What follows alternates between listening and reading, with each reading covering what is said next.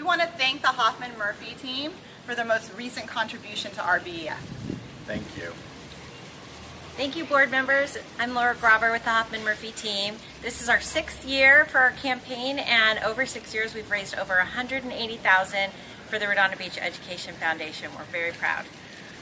And the Hoffman Murphy team. Oh, by the way, my name is Marie Hoffman, and the Hoffman Murphy team really believes in our kids.